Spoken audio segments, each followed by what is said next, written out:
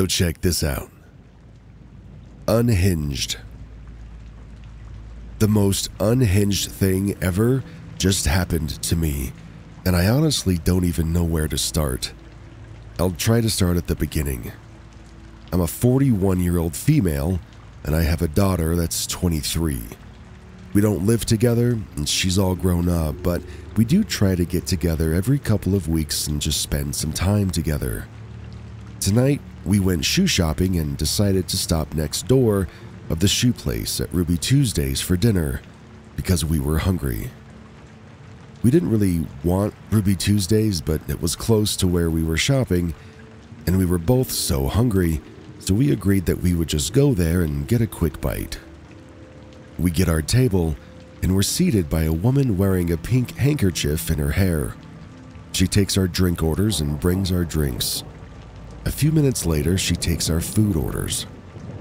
Time starts going by, and the place has hardly anyone there, and my kid and I are just catching up. I notice a table next to me. Three women. Appears to be maybe three generations of women, like a grandma, a mom, and an adult daughter. While waiting for our meal, I notice their plates are empty. Like, totally empty. But they keep taking bites. There's no conversation. The youngest of the group is sitting very upright and smiling and nodding. The middle aged one of the group says, We should just get this wrapped up to go. But there's nothing on their plates. I sort of gesture to my kid, like, Are you seeing this? Beck is playing over the music speakers, and I make a comment like, Beck is sort of a weird choice for Ruby Tuesday. I quietly sing along. Dave Matthews Band plays next, Crash Into Me. My kid says, You know all these songs. I reply, Well, I'm a 90s kid. And we laugh. An hour later, we still have no food, and I'm wondering do I want to be a Karen and ask when our food will come out? I politely flag a server and say, Hey, I really have uh, work early tomorrow. Can I just pay for the drinks that we had and you can cancel my order?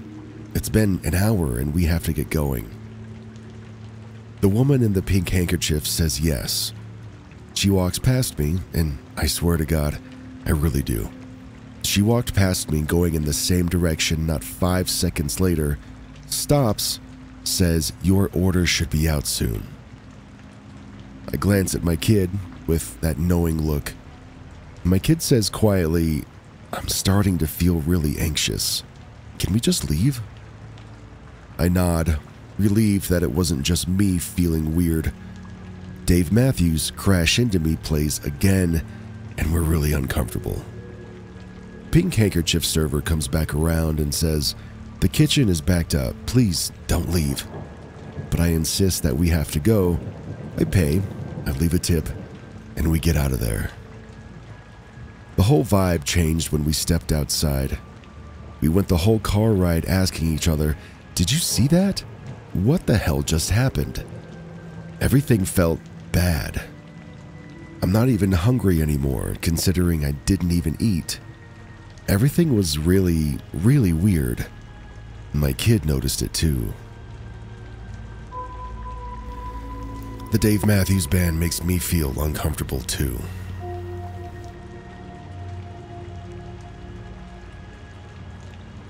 Missing time. So, this happened to me like 20 years or so ago. I was about 18. I got off the morning shift at work at around 11 ish and went to make the one and a half kilometer walk over to my girlfriend's house. There was a snowstorm that day and it was a slow going trudge to get there. I remember feeling that it took longer than average to get there, maybe naturally given the weather. However, I arrived at her place at nearly 4:30 p.m. I have no worldly idea what happened and where those 5 hours went. Sure, it was a slow walk through the deep snow, but it certainly was no more than an hour.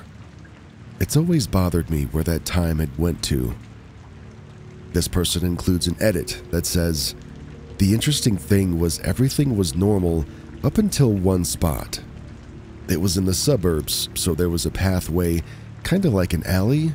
There were no cars, and only for pedestrians or bikes, between two houses. It has a slight turn in it, so you can't see completely through it. Somewhere around that turn in the middle, that's definitely the spot where I felt the time disappear.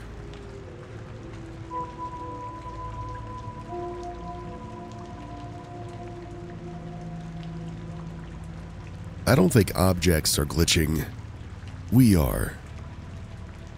I never thought this would happen to me, but here we are, and I had a witness. Today, I was bending over cleaning something off the floor with kitchen wipes. I saw that the floor was clean, no more spill, and decided to wipe one more time to make sure it was disinfected. Suddenly, the spill was back and I was smearing it all over the floor. I jumped back and shouted, What the F? Where did that come from? My son was standing there, handing me the wipes, and he said that the spill on the floor was there and that it wasn't all clean. I said, No, it was there, and I cleaned it, and suddenly it was back. I was wiping the clean floor one last time to make sure it was germ free, and then suddenly the spill reappeared. He said he was watching me the whole time and didn't see me totally clean the floor, but the second that this happened, he was frozen and then suddenly unfroze. I felt like everything stopped and then started within a small amount of time, so short that we can't perceive it actually happening. But I did, and I know others here have too. In that moment, when I saw the floor was clean and then realized it wasn't, I was there, but it felt like my body was on autopilot and that I had left and came back within just a few seconds. I felt off, and I also felt like time slowed a bit and then quickly sped back up. I don't think objects are disappearing and then reappearing. I think something is happening to us. I don't think the spill suddenly disappeared and then reappeared. I think I did. We're leaving and coming back, but when we come back to the same moment in time and space, something's a little different because we're coming back a few seconds earlier than when we left. It's like I left after the spill was wiped and then came back a few seconds later. Where we're going? I, I don't know. But it's happening outside of our perception of time. Either we're all totally crazy and losing it, or having a collective episode of insanity, or something's happening to us that we don't understand. Hey, it's me. Guess who's sick again? Dude, this winter to spring transition is just killing me. Um, so my vocal register is a little bit lower than normal, and I probably sound a little more whisperier than normal. It just hurts the least to talk like this.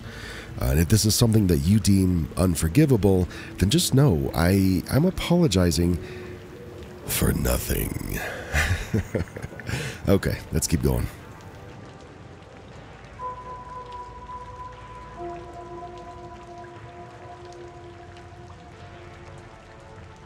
Weird writing on my stomach appears out of nowhere and then vanishes within minutes. About 12 years ago, this weird ass thing happened to me.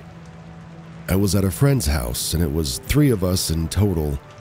We had just arrived and we went to his basement to hang out. Within like five or ten minutes, I was laying down, watching TV, chilling, and my shirt was like kind of up and I had my hand resting on my stomach. My one buddy notices writing on my stomach and mentions it.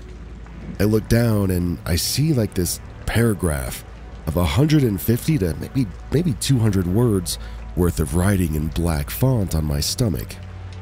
It was perfect, with no smudges. It looked like someone tattooed it on. Actually, that was my first thought, like, who the F tattooed me while I was sleeping?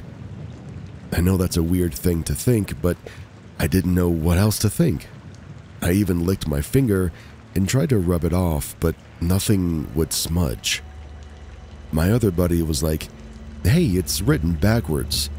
Let's go see if we can read what it says by looking in a mirror. So we all three, scared as foretold, go upstairs to the bathroom to try and read it. I lift my shirt up and then I see it literally unwrite itself off my body before it vanishes. The way it came off me was like writing in reverse. So if you filmed yourself writing something and then watched it in reverse, that's how it came off me. Still, to this day, no idea what the F that was or how to explain it. Do you have any thoughts?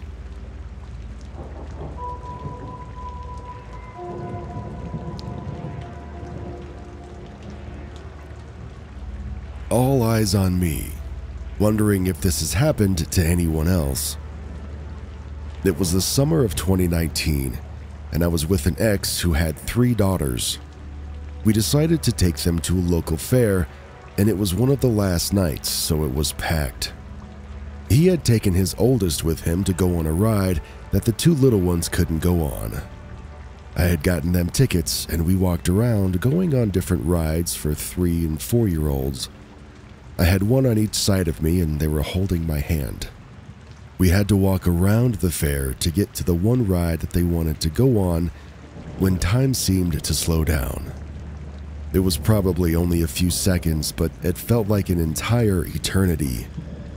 I remember all of a sudden everything got real slow and there was no noise at all. I couldn't hear talking, the rides, nothing but my own heart. And everyone that passed was staring at me. It's hard to explain, but all of a sudden, every single person that I passed while walking were suddenly just staring at me in a look of horror. I remember it feeling like they were all actors, and for that brief moment, they were scared that I realized what was going on. I can't explain it properly, but I remember it felt like they knew me in some way. It wasn't just one or two people who were staring at me. It was every single person that we passed. They stopped what they were doing and gawked at me as if I was the center of everyone's attention. I remember it felt like things were coming to a head, and then all of a sudden, sound returned. People went back to being normal, and time sped back up.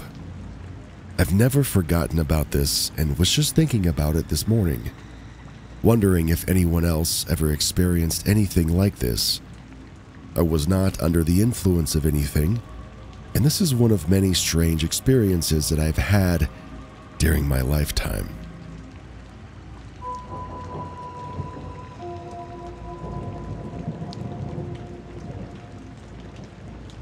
My house burned, and I think I shifted. My house burned down last year, and since then, I've been noticing strange inconsistencies but I could never really put my finger on it. Until today, I had my biggest one. My sister was talking about signing up to uni and the pathways, and I referred to my bachelor's, but suddenly, my mother said I only finished an undergraduate degree. What the F? I'm 28. My whole life after I graduated, I've been saying and knowing for a fact that I had a bachelor's. I remember studying for three years, for God's sake, which is additional to my previous accreditation with an advanced diploma. She says it was only a year and a half. The problem is my bachelor's paperwork burned in the fire, along with my entire room, and I can't find myself on any online database. My passport and birth certificate and everything burnt as well. I'll call the school to try and figure it out on Monday but either way, no matter the result, this is so weird and just adds to the other weird things. Everything is just off. This person includes an edit that says, I meant she thought I had an associate's degree. I realize in Australia, bachelor's is undergrad, and I'm just really in a confused state. The main thing is the missing time and the differing memory on such a key thing that I was so sure of.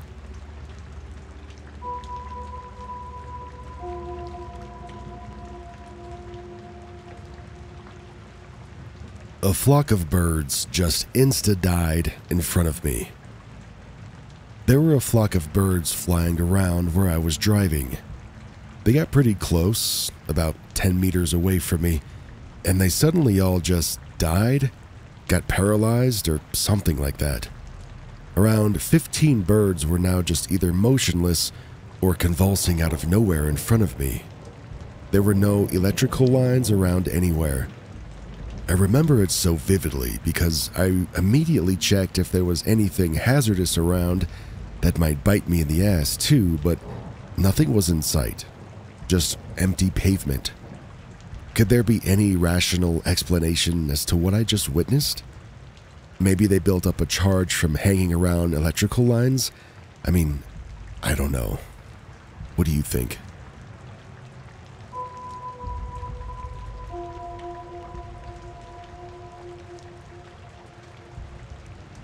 My partner switched places with an alternate version of themselves before switching back.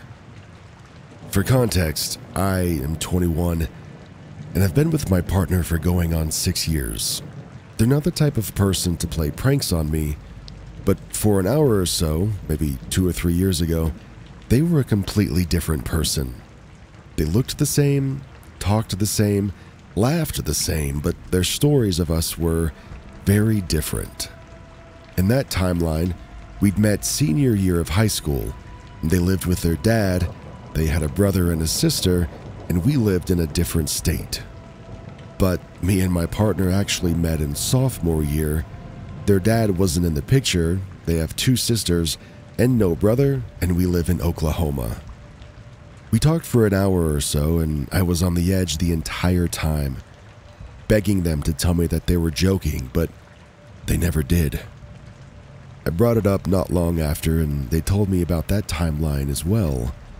Same details, but the uncanniness of it all was that the recording I took on my phone of the incident was corrupted. I had sent the video to a friend and it was corrupted on their phone too, but they remember getting it and listening to it, so it wasn't like I sent them something else. I don't know what happened, and I still don't to this day. My partner still swears up and down that it wasn't a joke, a prank, or anything like that. If you guys have any ideas, please feel free to share. This person includes an edit that says, After reading a bunch of comments and thinking about how they did tell me that they had OSDD, I never thought this was a symptom of OSDD or anything like this. Thank you.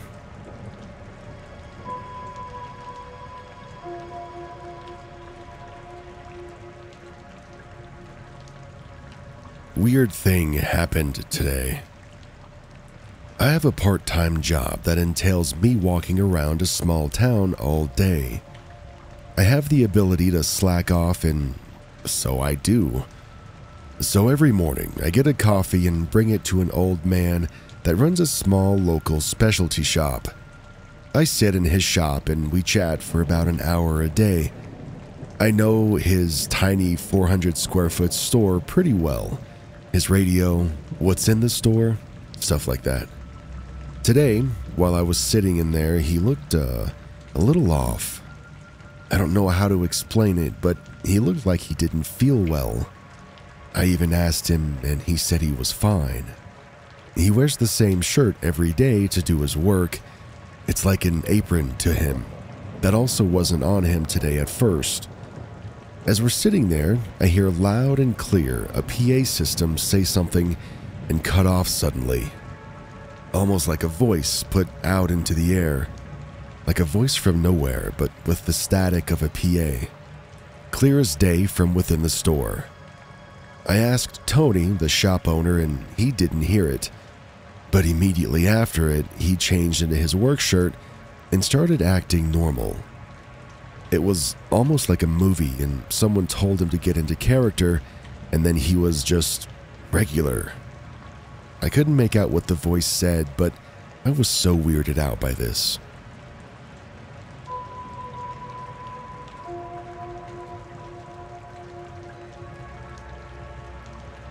This happened a decade ago, but I still can't explain it.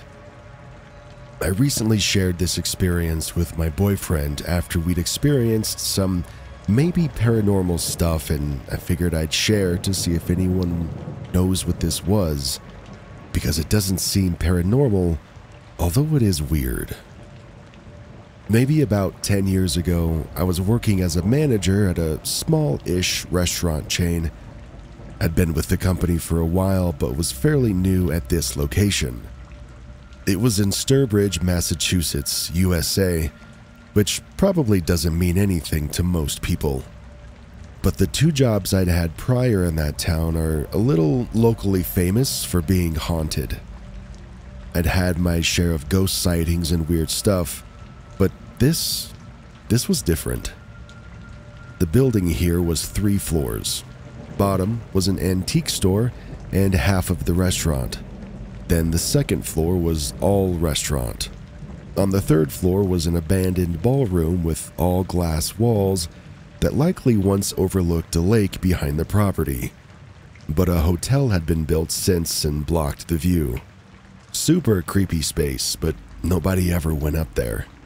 Might be irrelevant, but that's the property. We had a pretty bad snowstorm this particular day, had been shoveling and salting the walkways and went in to start my shift. I'm walking from the kitchen on the second floor and down a couple of steps to the dining room area, and something hit me. I squeezed my eyes shut, brought my hands up to my face, and fell back a little and yelled out, Come on, guys. In the moment, I thought someone had taken a bucket of rock salt and threw it at me. It felt like thousands of little pieces of something hard pelted me on my whole body. I was half expecting it to be a prank, but I opened my eyes after a bit and was like pulling on my shirt to check for salt or something in my bra because I felt it literally everywhere. But there was nothing there. Once I realized I was fine and not covered in a pile of salt or rocks or whatever, I looked around and two of the waitresses were just staring at me. Like stopped setting tables wide eyed. Because their perspective was that I just stopped, put my hands up to my face to shield something, fell back, yelled, Come on, guys, and then started pulling on my shirt like I was trying to shake something out of it. They saw me react, but nothing would cause the reaction. I'm not sure exactly what that was, or what it could have been.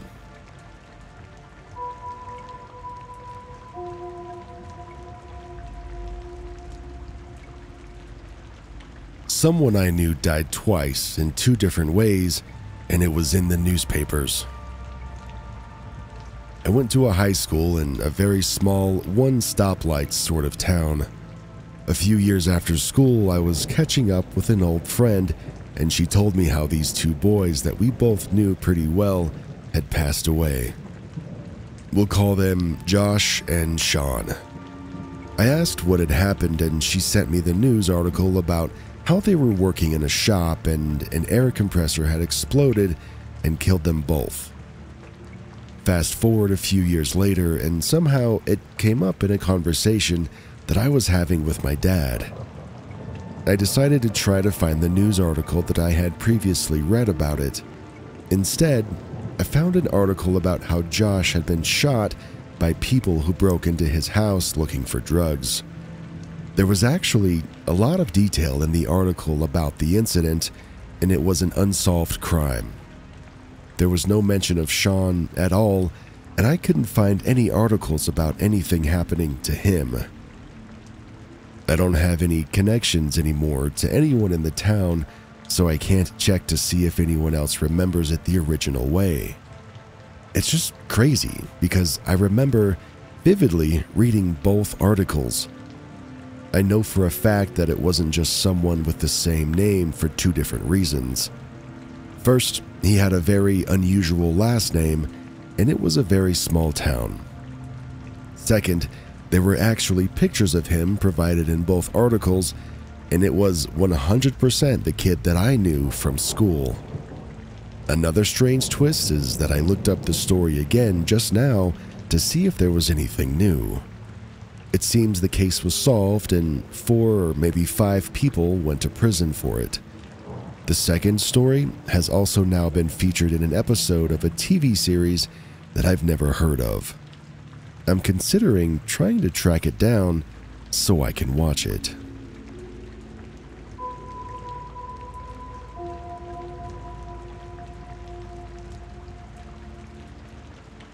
My dog confirms the glitch. First of all, forgive me if something is not written well. English is not my first language. Well, there I was, playing video games in my room with my dog lying next to me, and my boyfriend working on the computer in his office, which is opposite, but at a considerable distance since my house is quite big. I listened to him start to have a conversation with a colleague over the headphones. Whenever he concentrates on talking, he starts walking around the house, so I'm not surprised to hear him walking away towards the kitchen. My hallway is long and it echoes, and I heard him talking as he crossed it. And once there, he starts moving things around in the kitchen. I thought he would want to eat something, as did my dog, who immediately raised his head listening to the noises and ran towards the kitchen. What happened next is that I immediately heard his voice much closer. He has a high pitched voice, and I even got a little scared. I raised my head and I saw him leaving the next room, still focused on the conversation. I thought my ears had deceived me and that he was there the whole time until I looked down the hallway and see my dog arrive who stares at my boyfriend, very puzzled, and then turns his head a couple of times towards the kitchen and then again to my boyfriend. Would he be so focused that he teleported away without realizing it? Did my dog come in to see him in the kitchen? The poor guy just seems really confused. I don't know how to explain to him that sometimes the Matrix just fails.